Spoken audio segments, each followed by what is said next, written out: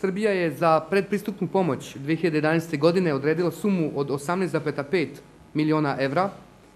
Određeni su već dva veća projekta, poputna revitalizacija Golubca, njene tvrđave, e, rad na zaštiti životne sredine lokalne infrastrukturi velikog gradišta, ali ostali još 9 miliona evra, pa pozivam sve partnere koji to žele da kandiduju sobstvene projekte. Sve informacije su raspoložive na sajtu Vlade Republike Srbije i početak razreda tih projekata će biti na proleće sledeće godine.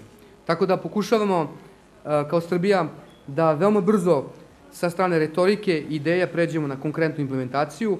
U tome nam pomažu naravno i Direkcija za vode, i Srbija vode i vode Vojvodine, što se tiče tog dela. I u zaključku ono što mogu da kažem to je da je e, ovo što se radi sa Danom Dunava, ovakve akcije, su izuzetno bitne zato što je zaštita životne sredine jedna od četiri ključna stuba te Dunavske strategije